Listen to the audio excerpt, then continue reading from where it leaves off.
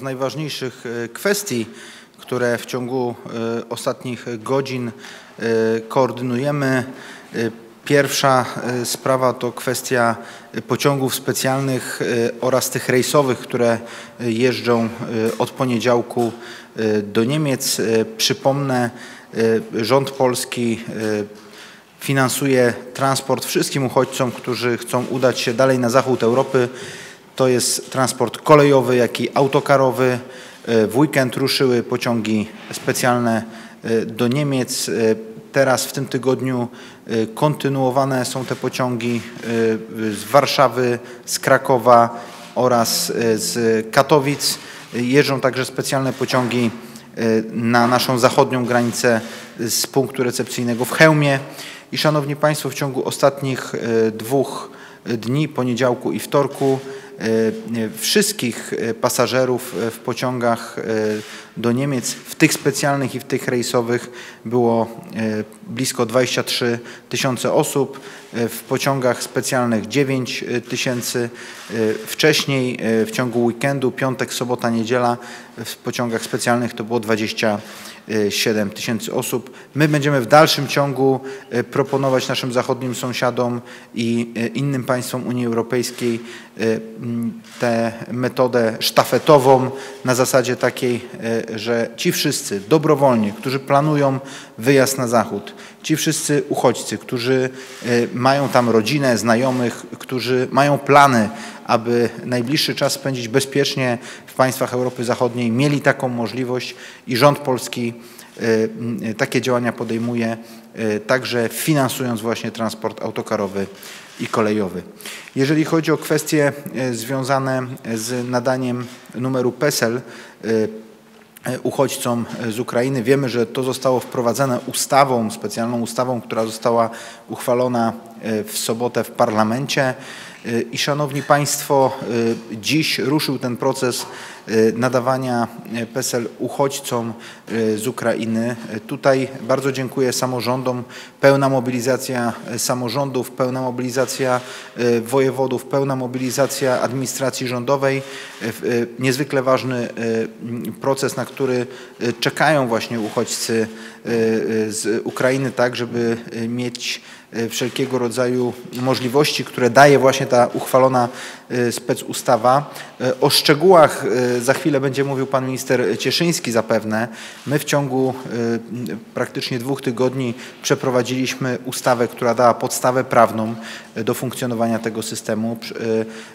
Służby Ministerstwa Cyfryzacji przygotowały całą obsługę informatyczną. Dziś ten proces w całej Polsce się rozpoczął i ja chciałbym jasno powiedzieć, że mamy świadomość tego, że dziś i w przeciągu kilku najbliższych dni i tygodni e, liczba osób i skala problemu E, z jakim w tej chwili mamy do czynienia, liczba osób, która będzie chciała e, wyrobić ten numer PESEL, aby móc legalnie podjąć różnego rodzaju działania e, w Polsce, jest tak duża, że kolejki w urzędach samorządowych są nieuniknione.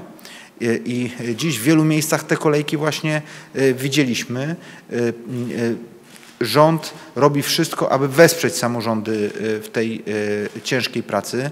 Wszystkie y, zadania, które samorządy otrzymały na mocy mm, specustawy, także te zadania związane z prowadzeniem rejestru dla uchodźców z Ukrainy są finansowane z budżetu państwa. Za te wszystkie działania samorządy otrzymają środki. Dodatkowo w skali kraju ponad tysiąc pracowników administracji rządowej już dziś jest do dyspozycji samorządów, tak, żeby te osoby mogły wspierać e, administrację samorządową, gminną, miasta w właśnie w wydawaniu numerów PESEL dla uchodźców e, z Ukrainy. W tych urzędach będą pracownicy samorządowi i wszędzie tam, gdzie trzeba, także e, pracownicy administracji rządowej, y, z Krajowej Administracji Skarbowej i z innych agent rządowych współpracować z pracownikami gmin w wydawaniu numeru y, PESEL. Także staramy się tam, gdzie jest taka możliwość, wesprzeć sprzętowo samorząd. W, w tym tygodniu pierwszy sprzęt trafi do samorządów, w kolejnych tygodniach trafi do kolejnych samorządów, tak żeby także z pieniędzy budżetowych, z budżetu państwa wesprzeć samorządy sprzętowo w tym ważnym zadaniu. Dwa ważne e, punkty masowe. Pierwszy ruszył e, dzisiaj w Krakowie. Dziękuję tutaj za współpracę e, władzom Krakowa z wojewodą małopolskim, a największy w Polsce punkt masowego udzielania numerów PESEL dla uchodźców z Ukrainy ruszy w sobotę na Stadionie Narodowym w Warszawie. To będzie około 100 stanowisk, gdzie w jednym momencie 100 osobom będzie można wydać numer PESEL. Y, zakładamy, że tam w tym punkcie prowadzonym przez miasto stołeczne Warszawa trwają już w tej chwili przygotowania na Stadionie Narodowym. Zakładamy, że ten punkt będzie od soboty działał we współpracy właśnie rządu i samorządu miasta stołecznego. Także ten punkt będzie otwarty w niedzielę i w kolejne dni, tak żeby jak najwięcej osób mógł obsłużyć. Tam również będą pracowali przede wszystkim pracownicy samorządu warszawskiego, ale będzie wsparcie mm, urzędników administracji rządowej, bo wszyscy jesteśmy jedną administracją publiczną. W, tych, w tej sytuacji, którą w tej chwili mamy, wszystkie ręce na pokład i wszyscy musimy się wspierać w zadaniach, które e, agresja Rosji na Ukrainę sprawiła, że mamy ich w tej chwili dużo więcej. I szanowni Państwo, tak jak powiedziałem, ten punkt na Stadionie Narodowym będzie największym punktem, y, y, gdzie, będzie wydawane, gdzie będą wydawane numery PESEL dla uchodźców y, z Ukrainy. Ruszy w sobotę, w kolejnych dniach, w czwartek, w piątek będą przedstawione szczegóły funkcjonowania tego punktu.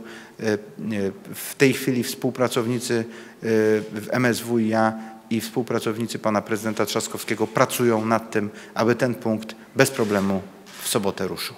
Dziękuję, Dziękuję bardzo. bardzo panie ministrze i bardzo proszę o zabranie głosu pana ministra Janusza Cieszyńskiego. Szanowni Państwo, tak jak powiedział Pan Minister Szefernaker, dzisiaj mamy pierwszy dzień wydawania tego bezpiecznego y, numeru PESEL dla uchodźców z Ukrainy. Mówię bezpiecznego, dlatego że ta procedura się fundamentalnie różni od tej, która zazwyczaj była stosowana wobec obcokrajowców, ponieważ ona wymaga y, przedstawienia dodatkowych zabezpieczeń związanych z y, wykonaniem zdjęcia biometrycznego, za które płaci samorząd, a także z pobraniem odcisków palców, tak żeby rzeczywiście była pewność, że ten system, który zasilimy prawdopodobnie bardzo dużą liczbą y, informacji na temat obywateli przybywających z Ukrainy, będzie rzeczywiście bezpieczny, wiarygodny i nie będzie wokół tego dochodziło do jakichkolwiek nadużyć. Y, na dzień dzisiejszy, na godzinę 15 mamy informację, że założonych zostało 17 tysięcy takich numerów dla osób dorosłych i prawie 15 tysięcy numerów dla dzieci. Żeby pokazać skalę, to w taki typowy dzień roboczy w ciągu całego dnia pracy nadawanych jest około 16 tysięcy numerów PESEL dla obywateli RP co oznacza, że, mm, co oznacza, że dzisiaj y, te numery dla osób z Ukrainy to jest ponad dwa razy więcej niż w taki statystyczny dzień i to jest to, o czym mówił pan minister Szefernaker, czyli rzeczywiście jest teraz czas bardzo dużej pracy, bardzo dużego wysiłku dla pracowników samorządowych, dla urzędów i od samego rana obserwujemy, że samorządy z tego zadania wywiązują się doskonale. Mamy informacje o tym, że powstały y, wydzielone punkty, w których można te sprawy załatwić. I tak jak mówił pan minister Szefernaker, rzeczywiście może się zdarzyć, że są tam kolejki, może się zdarzyć, że mm, może się zdarzyć, że ten czas obsługi jest dłuższy niż zwykle. Natomiast dzięki temu, że dostarczymy 2000 nowych stacji mobilnych wobec 336, które są obecnie, wobec tego, że dostarczymy 1500 y, punktów stacjon, zestawów stacjonarnych, te możliwości zostaną zwiększone o około 30% względem tego, co mamy obecnie. Zostaną też dostarczone skanery do odcisków palców, tak żeby y, te stacje, które już funkcjonują, mogły y, także być wykorzystane do tego procesu i y, będziemy zapraszać do współpracy osoby z administracji rządowej i inno, innych pracowników samorządowych, którzy do tej pory tych zadań nie wykonywali. Szacujemy, że liczba osób, które będą miały uprawnienia do pracy na tym systemie, zwiększy się o 100%. Także to nam pozwoli w sprawny i szybki sposób doprowadzić do tego, że osoby, które przyjechały do nas z Ukrainy, uzyskają numer PESEL niezbędny do tego, aby na przykład korzystać z elektronicznych recept lub y, wypełniać zaświadczenia, y, które, wypełniać dokumenty związane na przykład z podjęciem pracy i chcemy, żeby przez tę pracę, którą teraz wykonają samorządy, w kolejnych miesiącach bardzo wiele pracy takiej biurokratycznej, urzędniczej zostało na wszystkich poziomach administracji publicznej zaoszczędzone. Także raz jeszcze bardzo dziękujemy y, wszystkim samorządowcom, y, wszystkim prezydentom, wójtom, y, burmistrzom i ich pracownikom, którzy stanęli na wysokości zadania i już dzisiaj ten proces obsługują bardzo sprawnie, a jestem przekonany, że wraz z tą rozwijającą się infrastrukturą, wraz z nowymi punktami, wraz z zwiększoną liczbą stanowisk ten proces będzie jeszcze bardziej wydajny i rzeczywiście będziemy w stanie w ciągu kilku tygodni, myślę, że 6 do 8, y, tę grupę y, osób, które przyjechały do Polski y, w tym procesie obsłużyć. Wydajemy też profil zaufany, który jest niezbędny do tego, żeby te sprawy załatwiać na odległość, bez przychodzenia do urzędu. Wydajemy też możliwość skorzystania z dokumentu elektronicznego potwierdzającego tożsamość. To jest oparte o rozwiązanie y, M-Obywatel, natomiast jest to dokument specjalnie dla osób z Ukrainy, który potwierdza, że są to obywatele Ukrainy.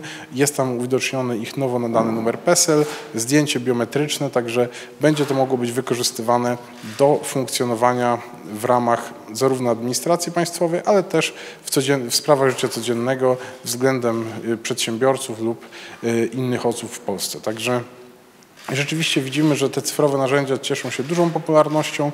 Działamy wspólnie z samorządami, aby ten proces przebiegał jak najsprawniej i mamy nadzieję, że y, już niedługo będziemy mogli powiedzieć, że udało się te kolejki rozładować i y, mamy do czynienia z sytuacją, w której ta obsługa rzeczywiście odbywa się na bieżąco. Widzimy bardzo duże zaangażowanie samorządów, także jestem przekonany, że to jest właśnie gwarancja tego sukcesu. Dziękuję bardzo. Dziękuję bardzo Panie Ministrze. Szanowni Państwo, przechodzimy teraz do pytań. Bardzo proszę, dzisiaj z racji na to, że to sprawy bieżące wedle Państwa uznania. Bardzo proszę.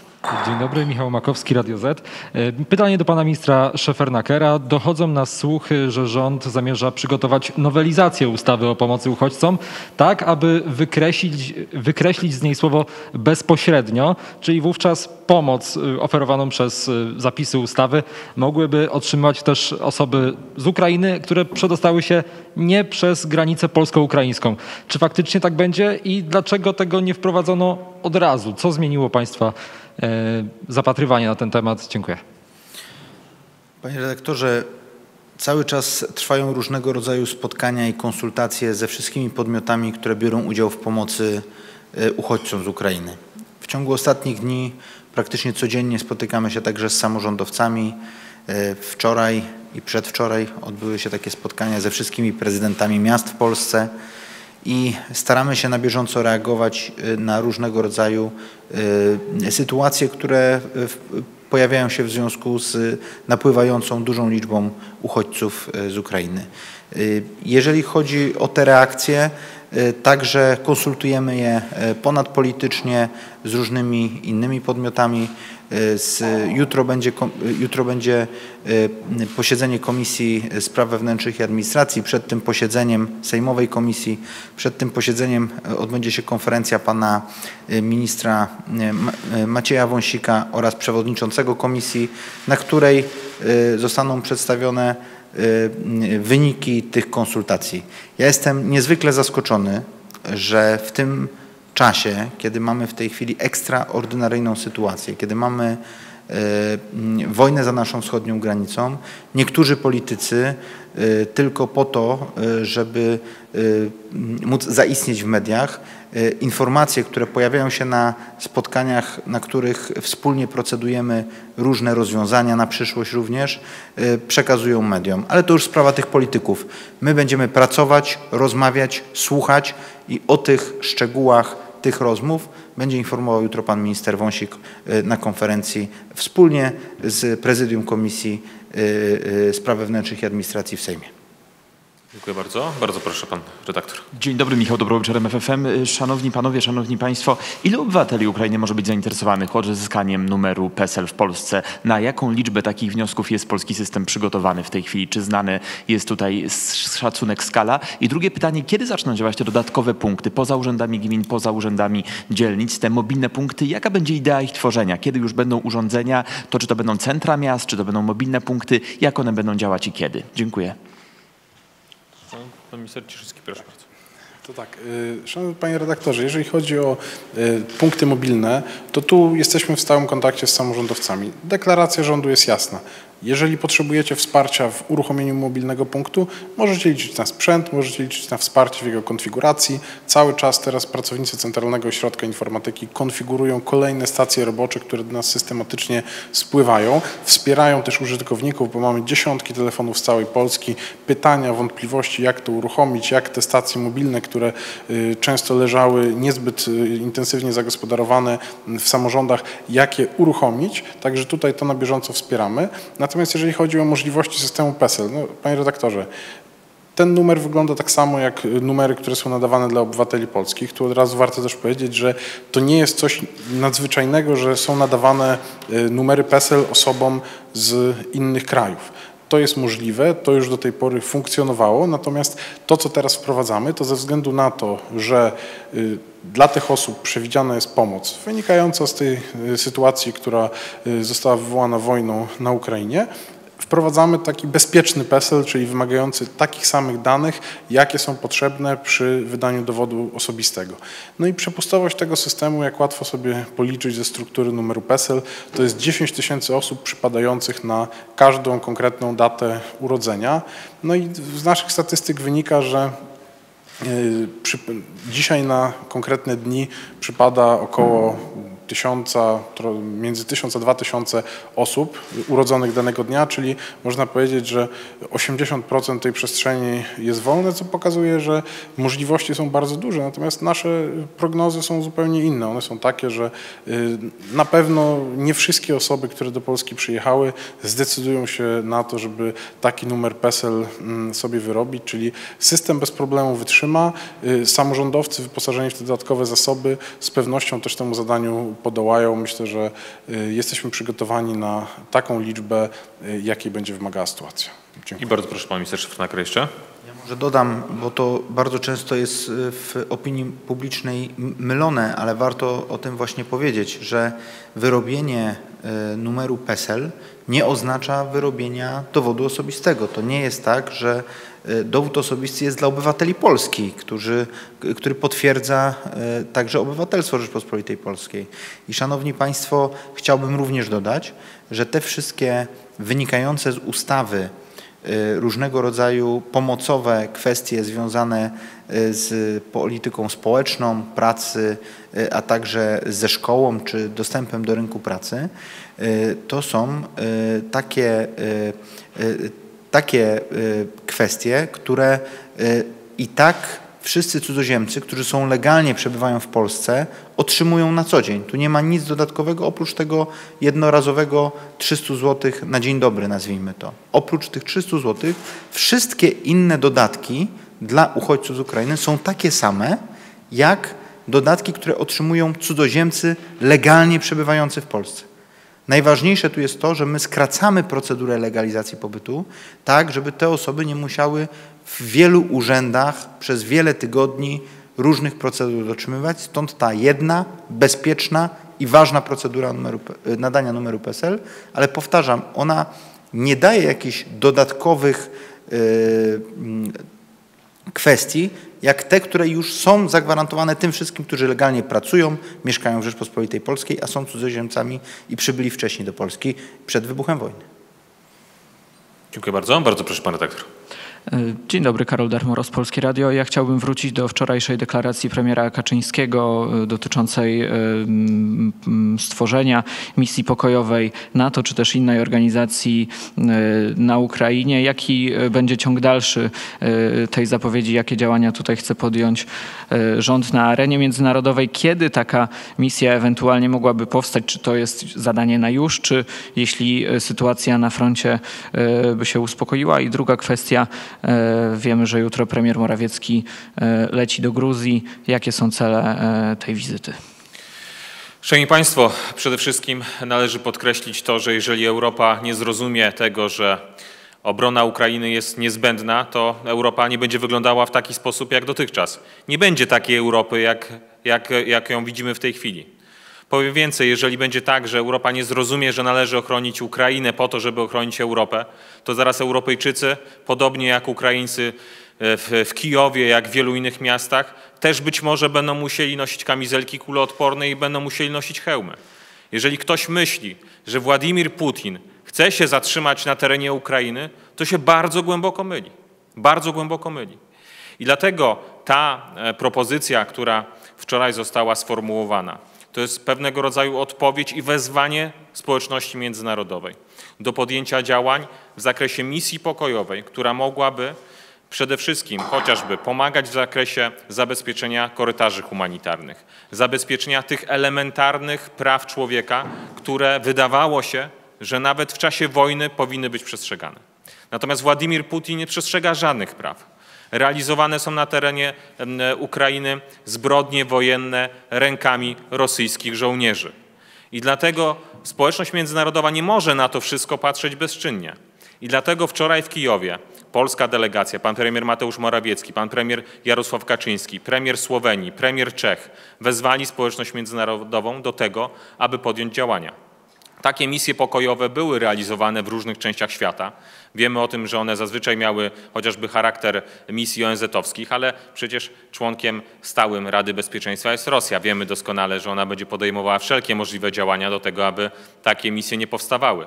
Ale czy to oznacza, że społeczność międzynarodowa ma patrzeć bezczynnie? Czy to oznacza, że społeczność międzynarodowa ma patrzeć, jak mordowane są dzieci, jak mordowane są matki i uważać, że nic nie można zrobić? Że nic nie można zrobić, bo nie pozwalają na to aktualne, wcześniej przyjęte formuły działania? Nie, w takiej sytuacji jak dzisiaj trzeba wyjść poza formuły działania, które znamy z przeszłości. Trzeba ratować Ukrainę, trzeba ratować Europę. Dlatego wczorajsze wezwanie jest wezwaniem do wszystkich państw w Europie, ale również wszystkich państw na świecie do tego, aby taki, taką misję pokojową sformułować. Nasze działania dyplomatyczne w tym najbliższym czasie będą skupione wokół tego, aby właśnie naszych partnerów europejskich, członków NATO, ale również przedstawicieli innych państw przekonać do tego, żeby taka misja pod auspicjami pewnej grupy, jak największej, najlepiej grupy państw mogła na teren Ukrainy, jeżeli sobie tego e, rząd ukraiński będzie życzył, e, żeby mogła zostać skierowana. To nie jest misja łatwa, bo tak jak mówię, wychodzi poza znane dotychczas formuły działania, ale to jest misja, która jest niezbędna do tego, aby Ukraina mogła być nadal suwerennym i integralnym terytorialnie krajem, ale przede wszystkim po to, aby na terenie Ukrainy nie dochodziło do takich zbrodni wojennych, jakie do tej pory obserwujemy. E, jeszcze Gruzja. Szanowni Państwo, jeżeli chodzi o kwestię jutrzejszej wizyty. Pan premier Mateusz Morawiecki, tak jak Państwo wiecie, od wielu dni e, prowadzi działania dyplomatyczne na wielu, wielu, płaszczyznach, jeżeli chodzi o bezpieczeństwo Ukrainy, ale również ważnym elementem takiego, tej geopolitycznej całej układanki jest również Gruzja, która przecież wiele lat temu była zaatakowana również przez Rosję. E, jutro pan premier Mateusz Morawiecki spotka się z premierem Gruzji e, w Batumi. E, też będą rozmawiać właśnie o kwestiach związanych z bezpieczeństwem, geopolityką. Wychodzimy krok do przodu, tam gdzie mogą pojawiać się różnego rodzaju ryzyka. Też chcemy od naszych gruzińskich partnerów poznać bezpośrednio informacje w tym zakresie. Monika Zdziera, z FM. Ja chciałam zapytać o kwestię ewentualnej abolicji dla polskich ochotników walczących na Ukrainie. Czy rząd planuje podjąć jakieś działania w tej kwestii? W ubiegłym tygodniu projekt ustawy w tej sprawie przygotowała na przykład Senacka Komisja. Dziękuję. Pani redaktor, w polskich przepisach prawa są y, przepisy, które pozwalają na to, aby e, za zgodą e, właściwego ministra e, obywatel polski mógł podejmować działania tego typu w innym kraju. W związku z tym ta ścieżka istnieje. Co do tej propozycji, o której Pani mówi, nie ma rozstrzygnięć żadnych w tym zakresie, więc nie chciałbym tutaj wyrażać stanowiska rządu, ponieważ rząd w tym zakresie nie zabrał jeszcze, znaczy nie, nie wyraził opinii, w związku z tym oficjalnego stanowiska rządu na tym etapie nie ma. Nadolcza Karnot, Polsat News. Panowie ministrowie, mam takie pytanie, czy rząd może już potwierdzić, e, że w przyszłym tygodniu Polskę odwiedzi prezydent Stanów Zjednoczonych Joe Biden? I drugie pytanie, Czego też rząd spodziewa się po dzisiejszej wizycie prezydenta Andrzeja Dudy w Ankarze? Dziękuję. Szanowni Państwo, jeżeli chodzi o wizytę pana prezydenta y, Bidena, to dobrym zwyczajem jest to, że y, informuje o tym Biały Dom, jeżeli już podejmuje decyzję w określonym czasie. E, Wiemy natomiast, że pan pre- prezydent będzie udawał się na teren Europy. W Europie będzie, będą spotkania. Jeżeli będą już oficjalne komunikaty, to będziemy oczywiście o tym informować. Natomiast, y, Szanowni Państwo, wracając w ogóle do aktywności pana prezydenta Andrzeja Dudy, no to ona, Dudy, ona była gigantyczna już w okresie prze- bardziej poprzedzającym ten konflikt zbrojny, który e, ma miejsce na terenie Ukrainy. E, Więc dzisiaj te działania pana prezydenta również wpisują się w ten mechanizm próby znalezienia stabilizacji e, na terenie Ukrainy. Tak jak wiemy, takie duże państwa, jak również Turcja, mają bardzo ważną rolę w tym zakresie. Inne państwa naszego regionu, ale również inne duże potęgi światowe, które mają wpływ na, na decyzje o charakterze geopolitycznym. Dlatego każda tego typu aktywność jest oczywiście bardzo ważna w tym czasie.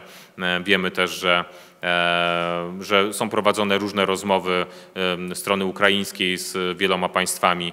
My w te, e, w te rozmowy też tam, gdzie możemy, jesteśmy zaangażowani i pomagamy w tym zakresie, o jaki proszą nas nasi, nasi e, wschodni sąsiedzi.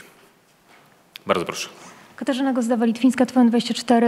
Wczoraj prezydent Zełenski powiedział, że Ukraina musi przyjąć, że drzwi do NATO są dla niej zamknięte. I czy polski rząd albo przewiduje, albo dostał taki sygnał od prezydenta Ukrainy, że Ukraina zamierza zrezygnować ze swoich aspiracji, jeśli chodzi o dołączenie do NATO? I a propos jeszcze wczorajszej wizyty, czy premier albo wicepremier proponowali albo Wiktorowi Orbanowi, albo e, kanclerzowi Niemiec taką wspólną wizytę, wyjazd do Kijowa? E, Wiemy, że nie pojechali, więc e, jeżeli taka była propozycja, to dlaczego odmówili?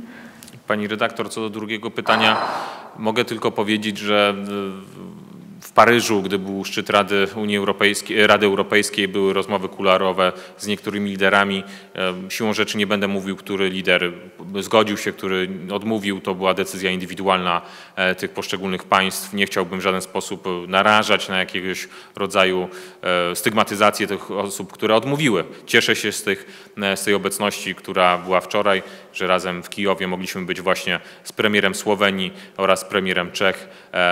Te, e, te, ten wyjazd, tak jak Państwo wiecie, był również konsultowany e, z przewodniczącym Rady Europejskiej, e, z przewodniczącą Komisji Europejskiej. Dzisiaj rano Pan premier Morawiecki, e, pan premier e, Fiala, pan premier Jansza też rano rozmawiali po powrocie e, z Charlesem Michelem. Tuż po powrocie właśnie jeszcze na lotnisku w Rzeszowie rozmawiali z przewodniczącym Rady Europejskiej, aby też poinformować go o najważniejszych rozstrzygnięciach i przede wszystkim wezwać do dalszego działania. Akurat tutaj przewodniczący Michel, trzeba przyznać, jest bardzo dobrym ambasadorem spraw Ukrainy i akurat na jego działania w bardzo szerokim zakresie możemy liczyć, więc cieszymy się, że też ze zrozumieniem przyjmuje te wszelkie inicjatywy, które się pojawiają. Jeżeli chodzi o pierwsze pytanie, przepraszam pani redaktor. Czy A, Szanowni? Państwo, jeżeli chodzi o kwestię decyzji, jakimi, jak, jaką są decyzje, jaką, ja- decyzja, jaką jest członkostwo w danej organizacji międzynarodowej, to jest decyzja suwerennego państwa. W związku z tym ja nie chciałbym się wypowiadać w imieniu państwa ukraińskiego, jeżeli chodzi o członkostwo w NATO.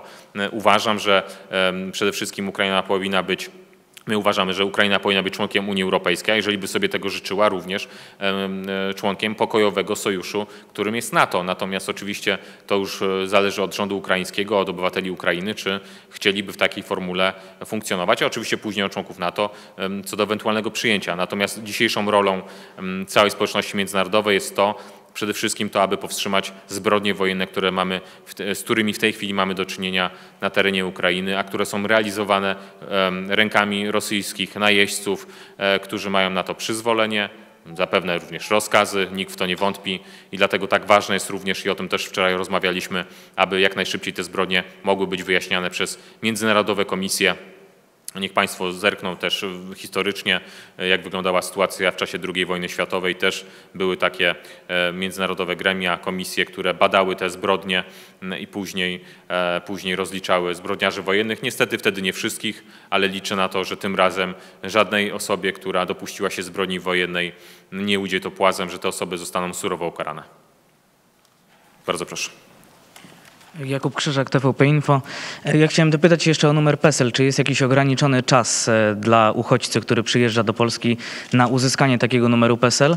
E, I jeszcze wracając do programów takich jak 500+, e, kiedy będą pierwsze pieniądze wypłacane dla uchodźców? Jeżeli chodzi o numer PESEL, to one będą wydawane tak długo, jak będzie obowiązywała ustawa. Ona na ten moment obowiązuje przez najbliższe 18 miesięcy. Natomiast gotowość konkretnych instytucji do y, startu z uruchamianiem tych usług, no to już najlepiej znają same te instytucje. Myślę, że one takie informacje będą przekazywać.